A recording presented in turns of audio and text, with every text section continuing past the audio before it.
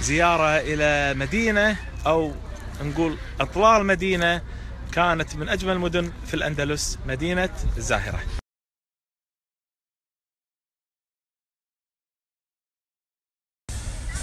المدينة أو ما تبقى منها. طبعا المدخل مسوينه بطريقة حديثة لاندسكيب جميل جدا.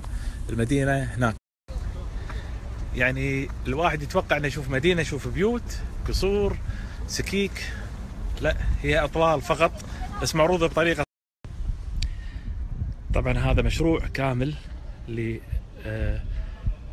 المدينة بطريقة مناسبة. طبعا السور شوف الزراعة طريقتها.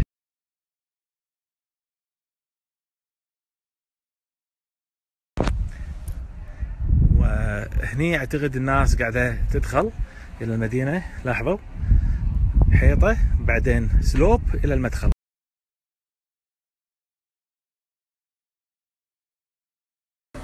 نبدأ نتفحص. هذا كونكريت أبيض فتحات بعمق تقريبا 30 سنتي بالجدار اللي وراء أعتقد نريد نشوف المدخل اللي صاير تحت الأرض يعني لأنها أطلال مدينه عملوا لها طريقة ذكية للعرض.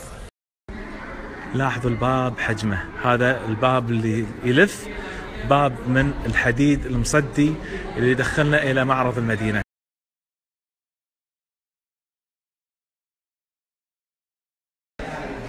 وندخل إلى البوابة الزجاجية.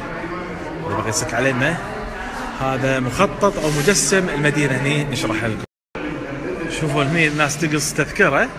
بس لاحظوا المجسم مسوينه من الكونكريت. جميل جدا.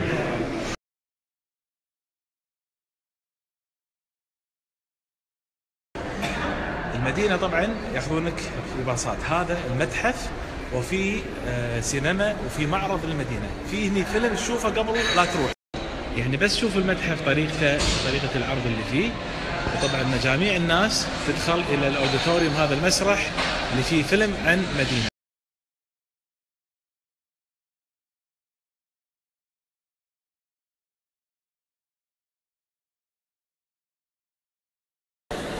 وهذه القاعة اللي راح يعرضون فيها الفيلم الخاص في مدينة الزهرة الله يعيننا ماكو كرسي فاضي.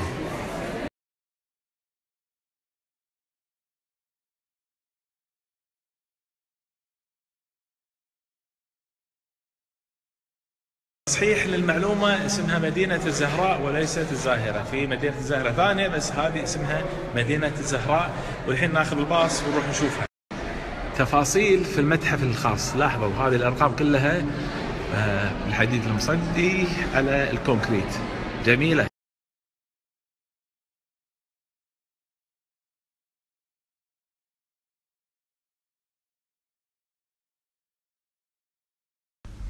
الفيلم اللي كان في المتحف كان جيد لأنه أعطانا إحساس شلون كانت المدينة قبل لا تنهدم وتصير أطلال اللي بنشوفها.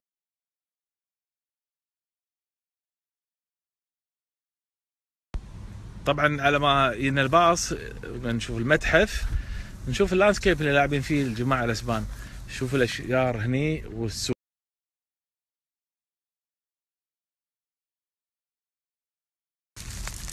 شوف التناغم الالوان شوف اختيارهم. حديد مصدي بشرايح مع الورق اللي أوراقه صفر بالموسم الحين مع الزراعة. يعني المتحف واللاندسكيب الواحد يتمتع فيه وهينتظر الباص اللي بيوديه مدينة الزهراء.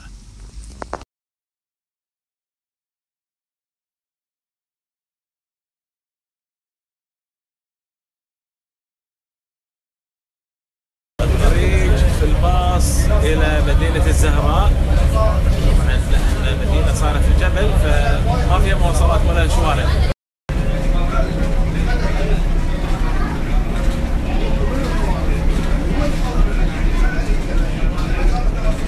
من المنصة نطل على مدينة الزهراء وما تبقى منها وهي أطلال تحتنا صايرة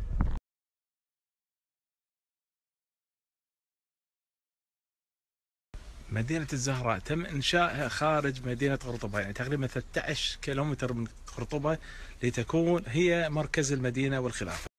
نشوف قرطبة هناك تبع تقريبا 13 كيلو. طبعا هني الخليفة عبد الرحمن الناصر بغاها تكون هي العاصمة وهي المركز. طبعا الخليفة كان يحب وملم في العمارة وهذا سبب إنشاء مدينة بطريقة يمكن خلينا نقول منظمة أكثر من قرطبة. المدينة تم إنشائها من ألف سنة لكن لا زالت الدول تنقل عواصمها إلى أماكن أفضل أو أفضل من الأماكن اللي فيها المدن الرئيسية. طبعا لما ينشؤون مدينة جديدة لازم يحلون المشكلة الأمنية آه، مو بس الجماليات الفانكشن العملية لنظام المدينة. يعني اختيار المدينة في هالارتفاع هناك نشوف هناك السهل هناك طبعا مدينة قرطبة. هني ورانا صايرة جبال ومرتفعات. ففكرة الخليفة ان تكون المدينة مدرجة، القصر اللي يطل اشرافته على المدينة والمدينة تطل على السهول ومن ثم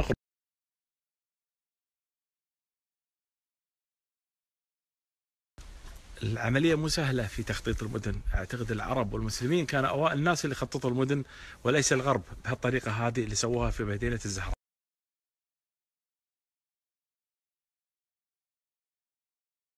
طبعا تم تخطيطها من الناحية العسكرية من الناحية الترفيهية من ناحية الحركة من ناحية دخول المؤونة وخروجها والناس. هذا اللي وراي هو المدخل أو المدخل الشمالي للمدينة. لاحظوا مدخلهم مو سيدة. ليش مسوينه؟ اوريكم إياه الحين في المخطط. لأهمية المدينة ووجود الخليفة فيها لازم فيها سكيورتي فيها نظام أمني. فالمداخل فيها حكم إن الواحد يتفتش. كأن هذه مطارات قديمة لاحظوا. يعني لو على أيامنا الحين أحط جنطتي هني وهناك السكانر وهني أدخل يفتشني الضابط ومن هناك تختيم الجوازات. وندخل المدينة بسلام وهذا يسطوح المباني اللي تحت أو ما تبقى منها. هذه جزء من الأرضيات الأصلية ولاحظوا هذه التجديد لكن شوفوا علامات التعرية اللي صارت عليها. للعلم هذا ما سوى شكل ولا حبوا يخلونه كذي كان أساسا مطوي وكان مستوي وفي ألوان أبيض أحمر أصفر في ألوان كان. كمعماريين إحنا نحب اللون الواحد كلها بيج ورمادي وأشجار. هذا الجمال صراحة.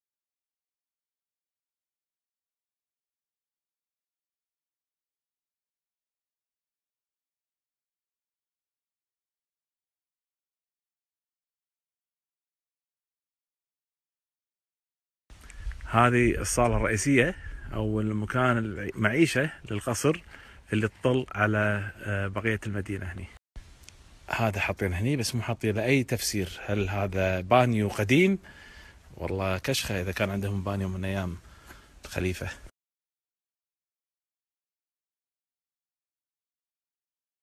تذكرون ما قلنا نقطة اهتمام؟ شوف ال focal point اللي هناك. مو مسوينها لجمالياتها بس لل function.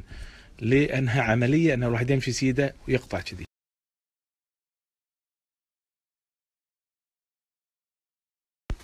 طبعا هني القسم الخاص بالحراس وهناك فوق القصر. فالحراسة هني تكون والقصر هني على اليسار المدينة. الحلو أن الواحد يمشي فيها إذا مو تاريخ آه، عملية المشي في المدينة شيء غريب. إحساس غريب.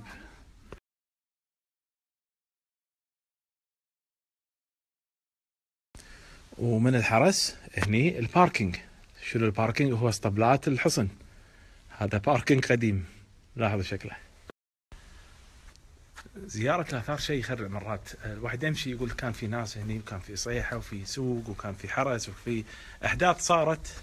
أحداث سيئة أحداث زينة أحداث حزينة. كلها في المواقع اللي قاعد نمشي فيها. واليوم عبارة عن معالم بس.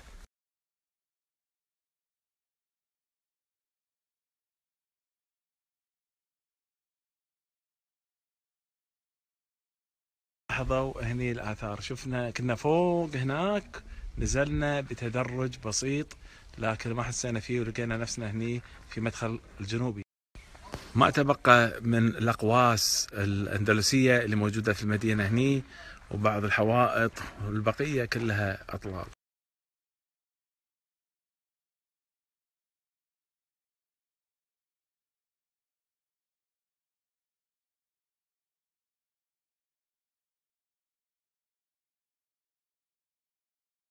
هذا مدخل لمسكن رئيس الوزراء ونشوف شلون طريقة توزيع في الغرف الموجودة حاليا. في بعض الأشياء تمت بعد الألف سنة اللي صارت. هذا الحجر طبعا تآكل لكن الرخام لاحظوا ظل موجود. هذه كلها كانت غرف غرف النوم صالات وتكرمون الحمام الخاص في الرئيس الوزراء في مدينة الزهراء.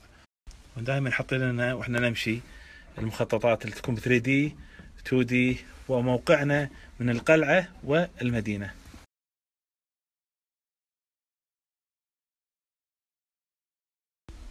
تخيلوا معاي الأماكن هذه قبل شنو كانت؟ من نقوش من مواد أخشاب آه، يعني أثاث أقمشة مو كذي.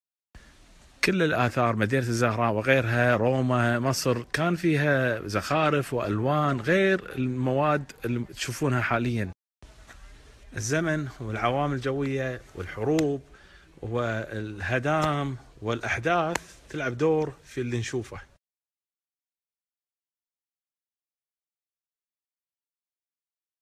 شوفوا الاهتمام بالآثار وطريقة عرضها. هذا طبعا شغل الأسبان تالي. أرضيات خشب تسهل على الزوار إنه يمشون حول الآثار.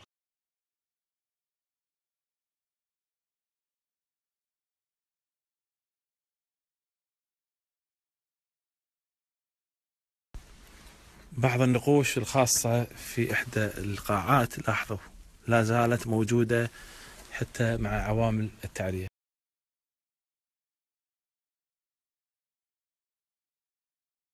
مدينة جميلة مخططة بطريقة وكأنها حديثة.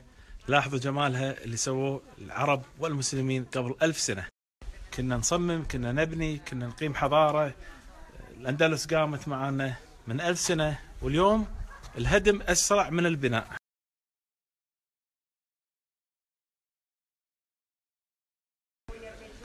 هني بالأخير تم تجميع قطع من القصر. لاحظوا الرخام والأحجار المستخدمة.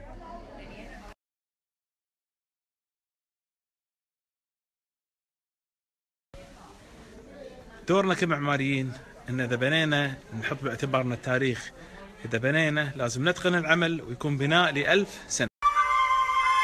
لكل شيء إذا ما تم نقصان. فلا يغر بطيب العيش إنسان. هي الأمور كما شاهدتها دول. من سره زمن ساءته أزمان